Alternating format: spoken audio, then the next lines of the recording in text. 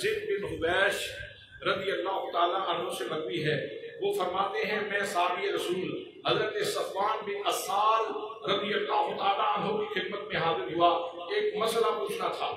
ایک مسئلہ ان سے پوچھنے کے لیے حاضر ہوا کہ جناب والا، آپ نبی کریم صلی اللہ تعالیٰ علیہ وسلم کے صحابی ہیں۔ مجھے ایک مسئلہ تو بتائیں کہ جب حضور صلی اللہ تعالیٰ علیہ وسلم سفر میں تشریف لے جاتے تھے، تو آپ یہ خفین موزے استعمال فرماتے تھے اور صحابہ کرام بھی موزے استعمال فرماتے تھے تو سفر میں موضوع کی مدت کتنی ہے؟ سفر میں موضوع کی مثلا شدت کا موسم، سردی کا آتا ہے، تو اس وقت شریعت اسلامیہ کی طرف سے آپ لوگوں کو اجازت ہے، اگر پانی ٹھنڈا ہے، آپ موزے پہن لیں۔ اگر آپ حالت قیام میں ہیں، تو ایک دن اور ایک رات کے لیے آپ اپنے پاؤں کے اوپر موزے پہن لیں بشرطے کہ اس میں پھٹن نہ ہو۔ بشرطے کہ موزہ ایسا ہو جس کے باہر پانی لگے تو پانی اندر نہ جائے۔ بعض لوگ جرابوں کے اوپر، بعض لوگ جرابوں کے اوپر مسا کر لیتے ہیں، تو جرابوں کے اوپر مسا کرنا جائز نہیں ہے۔ ایسے موزے کے اوپر مسا کرنا چاہیے جس کے نیچے پانی لگے، تو جلد اتنی مضبوط ہو کہ اس کے اندر پانی نہ جائے، تو اس کے اوپر مسا کرنا جائز ہے۔ سردیوں میں خاص طور پہ اس کی ضرورت پڑتی ہے۔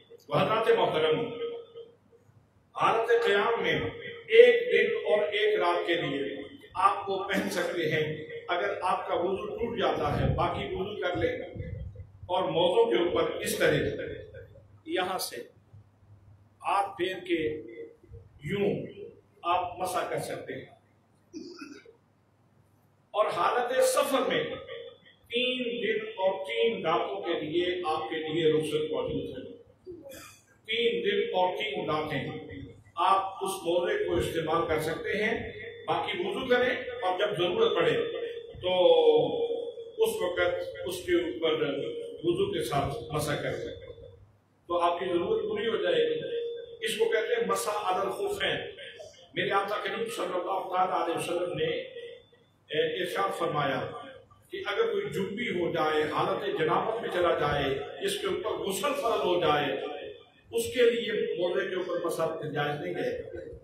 یہ اس کی، اس کے لیے ہے جس کا وضو ٹوٹے۔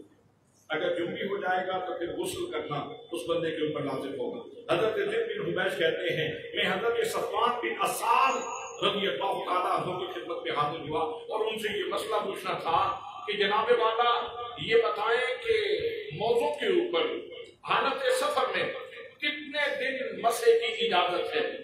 کتنے دن مسا کر سکتے ہیں؟ تو نبی مکرم صلی اللہ تعالیٰ علیہ وسلم کے صحابی فرمانے لگے فرمانے لگے، واقعتاً تم اس اخلاص کے ساتھ صرف یہی مسئلہ پوچھنے کے لیے آئے؟ صرف یہی مسئلہ دین کا پوچھنے کے لیے آئے ہو؟ جی جی بالکل یہی مسئلہ پوچھنے کے لیے آیا ہوں۔ اور کوئی مقصد نہیں ہے، اور کوئی غرض نہیں ہے۔ صرف یہی مسئلہ پوچھنے کے لیے آیا ہوں۔ دین سیکھنے کے لیے آیا ہوں۔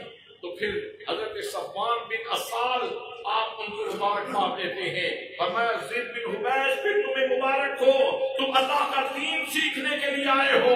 تو پھر تمہیں مبارک ہو۔ تمہارے پاؤں کے نیچے اللہ کے فرشتے پر بچھاتے ہیں۔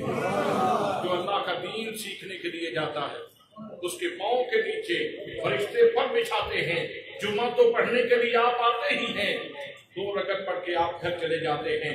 اگر آپ دین سیکھنے کی نیت سے اپنے گھر سے نکلے وقت میں آئے پانچ منٹ، دس منٹ، پندرہ منٹ، آدھا گھنٹہ گھنٹہ جتنا آپ کو ملتا ہے، نیت خالص ہوگی تو پھر آپ کو یہ اعزاز نصیب ہوگا۔